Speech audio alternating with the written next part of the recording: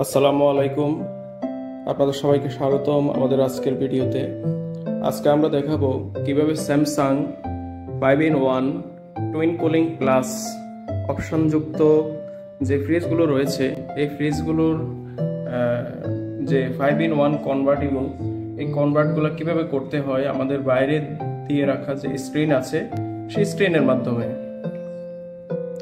সর্বপ্রথম আমরা দেখি এটা যে মেইন অপশান সেটা হচ্ছে ডিজিটাল ইনভার্টার এটা হচ্ছে অটোমেটিক সেই ডিজিটাল ইনভার্টার অটোমেটিক্যালি এটা কন্ট্রোল করে।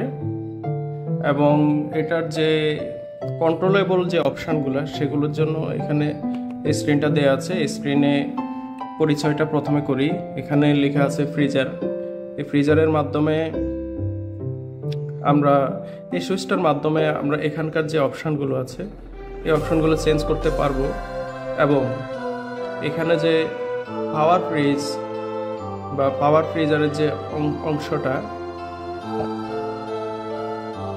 এই অংশটাতে নিতে পারব।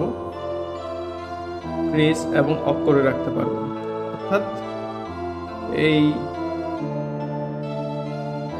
এই সুইচের মাধ্যমে আমরা এখানে এই টেম্পারেচারগুলো নেগেটিভ টেম্পারেচারগুলো চেঞ্জ করতে পারব এবং পাওয়ার ফ্রিজ করতে পারব। মাঝখানের যে সুইচটা, এটা হচ্ছে ফ্রিজার কনভার্ট অর্থাৎ এই সুইচটার মাধ্যমে আমরা ফ্রিজারকে ফ্রিজ কিংবা অফ করে রাখতে পারব। সেক্ষেত্রে এই সুইচের কন্ট্রোলে থাকবে এই বক্সের অপশান দুইটা ফ্রিজ এবং অফ আর এখানে যে তিন নাম্বার যে সুইচটা দেখতে পাচ্ছি তিন নাম্বার সুইচটার মাধ্যমে এখানে ফ্রিজের যে নিচের নর্মাল অংশের টেম্পারেচারগুলো চেঞ্জ করতে পারব এবং নর্মালটা বন্ধ করে রাখতে পারব। এখন আসি আমরা এগুলা কখন কি করব। ধরুন, আমরা এখন বাইরে বৃষ্টি হচ্ছে কিংবা ঠান্ডা অনেক বেশি, সেক্ষেত্রে আমার নেগেটিভ নাইনটিন ডিগ্রি সেন্টিগ্রেড না রেখে আমি নেগেটিভ সেভেন্টিন নেগেটিভ ফিফটিন রাখতে চাই। মনে রাখবেন, এটা যত উপরে তত বেশি ঠান্ডা, আর যত নিচে, তত কম ঠান্ডা। মানে negative twenty three degree centigrade negative fifteen degree centigrade থেকে অনেক বেশি ঠান্ডা। আর এদিকে আমরা সহজেই বুঝতে পারছি, সাত ডিগ্রি থেকে তিন ডিগ্রি ঠান্ডা, তিন ডিগ্রি থেকে এক ডিগ্রি বেশি ঠান্ডা। আসুন আমরা প্রথমে ফ্রিজের যে সুইচ, এটা দিয়ে দেখি। দেখেন, এটা টিপের মাধ্যমে আমরা এটা চেঞ্জ করতে পারতেছি। ওকে এটা তো একটা অপশান গেল। এরপরে আমরা যদি চাই যে আমাদের ফ্রিজে অনেক খাবার আছে, একসাথে অনেক খাবার ঢুকিয়েছি, মাছ গোস্ত এবং সবগুলো খুব দ্রুত ঠান্ডা না করলে নষ্ট হয়ে যাবে, সেক্ষেত্রে আমরা পাওয়ার ফ্রিজ অপশানটা চালু করতে পারি। তাহলে খুব দ্রুত সেগুলো জমে যাবে। পাওয়ার ফ্রিজের জন্য এটা লেখা আছে power freeze three second three second চেপে ধরে রাখতে হবে। ওকে এখন আমাদের নেগেটিভ টোয়েন্টি থ্রি ডিগ্রির জন্য পাওয়ার ফ্রিজ চালু হয়েছে যে এখানে মাঝখানে যে স্টার মতো সরবুজের মাঝে এটা চালু হয়েছে। এখন খুব দ্রুত আমাদের যে ফ্রিজারটা আছে, এটা ঠান্ডা হওয়া শুরু হয়েছে, অর্থাৎ ডিপ ফ্রিজটা। তো এটা যদি আমরা মনে করি যে আমাদের যথেষ্ট হয়েছে, এক ঘণ্টা, দু ঘণ্টা, তিন ঘণ্টা সর্বোচ্চ রাখা উচিত আর কি। এর বেশি না রাখলেও চলবে। সেক্ষেত্রে দুই, তিন ঘণ্টা পরে আমরা এটা আবার চেপে ধরে রাখব, দেন নর্মাল ফ্রিজিং হতে থাকবে। সাধারণত স্ট্যান্ডার্ড টেম্পারেচার হচ্ছে এই ফ্রিজগুলার নেগেটিভ নাইনটি ডিগ্রি সেন্টিগ্রেড এবং নর্মাল ফ্রিজের জন্য তিন ডিগ্রি সেন্টিগ্রেড এটাই স্ট্যান্ডার্ড তা আপনারা এটা মেনটেন করবেন আদারওয়াইজ যখন দরকার হবে তখন অন্য অপশান ইউজ করবেন। এখন আমরা আসি ফ্রিজ ফ্রিজ কীভাবে কন্ট্রোল করব? অর্থাৎ নিচে নর্মাল ফ্রিজটা এই যে নর্মাল ফ্রিজটা আমরা টেম্পারেচার চেঞ্জ করতে পারছি। এখানে একটা অপশান এক্সট্রা দেখা যাচ্ছে, সেটা হচ্ছে এই যে, এখানে একটা প্লাগ দেখা যাচ্ছে, সাথে পাতা। এই প্লাগের মানে হচ্ছে আমরা যখন ওই প্লাগে দিব, তখন আমাদের যে নিচে ফ্রিজের নর্মাল অংশটা আছে নর্মালটা অফ হয়ে যাবে।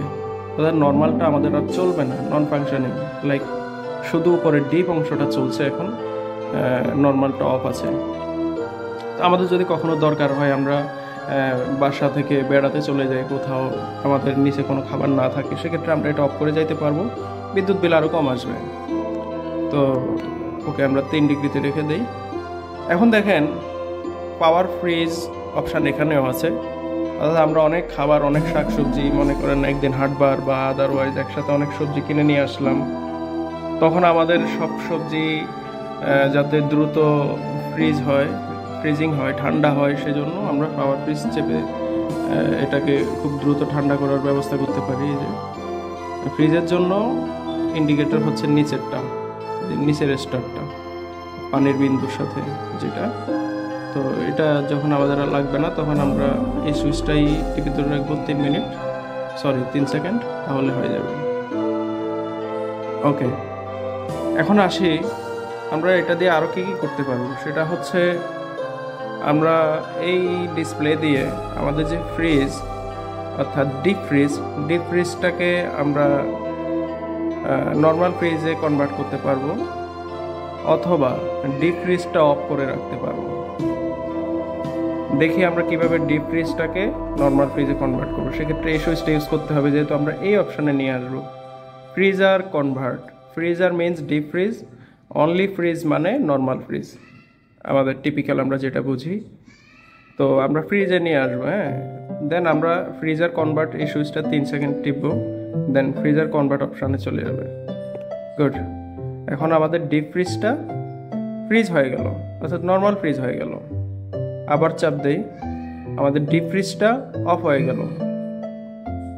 আবার চাপ দিলে আমাদের ডিপ ফ্রিজ আবার চালু হয়ে গেল ডিপ ফ্রিজের মতোই কাজ করবে। মনে করেন, আমরা কোথাও গেলাম, আমাদের ডিপ ফ্রিজটা নর্মাল ফ্রিজ হিসেবে রাখলাম, আর নর্মাল ফ্রিজটা অফ করে রাখলাম। সেই সেক্ষেত্রে কী করতে হবে দেখেন নর্মাল ফ্রিজটা নর্মাল ফ্রিজে রাখলাম, অর্থাৎ মাল্টিপ্লাগ রাখলাম এবং অফ করে দিলাম এবং ডিপ ফ্রিজটাকে নর্মাল ফ্রিজ করে রাখি। এটা চেপে ধরি কনভার্ট ওকে তিন সেকেন্ড চেপে ধরে রেখেছি, সেটা ফ্রিজ হয়ে গেছে। এখন আমাদের উপরের যে অংশটা, উপরের অংশটা ফ্রিজ নর্মাল ফ্রিজ হিসেবে কাজ করবে আর নিচের অংশটা বন্ধ থাকবে। আবার আমরা উপরের অংশটাও যদি বন্ধ করে দিয়ে যেতে চাই এখন কিন্তু আর সেটা বন্ধ হবে না। কারণ যে কোনো একটা আপনাকে চালু রাখতে হবে। তো এটা উপরের অংশটা বন্ধ করতে হলে আপনাকে নিচেরটা চালু রাখতে হবে, নিচেরটা বন্ধ করতে হলে উপরেরটা চালু রাখতে হবে।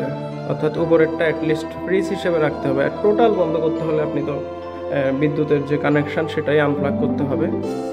তো দেখেন, আমরা যদি এখন অফ করার চেষ্টা করি উপরের ডিপটাকে, তাহলে কিন্তু সেটা আর হচ্ছে না। কিন্তু আমরা যদি ফ্রিজটা আবার আনপ্লাগ অর্থাৎ আমাদের যে প্লাগ প্লাগ অপশান থেকে নিচের দিকে নিয়ে চলে আসি, দেখেন যে কোনো একটাতে, ধরেন তিন ডিগ্রি। এখন কিন্তু আমরা ডিপ ফ্রিজকে নর্মাল ফ্রিজে নিয়ে যাব। এই যে অফ অপশন চালু হয়ে গেছে। এখন আমরা চাইলেই ডিপ ফ্রিজটাকে অফ করে রাখতে পারব। এখন ডিপ ফ্রিজ অফ আছে।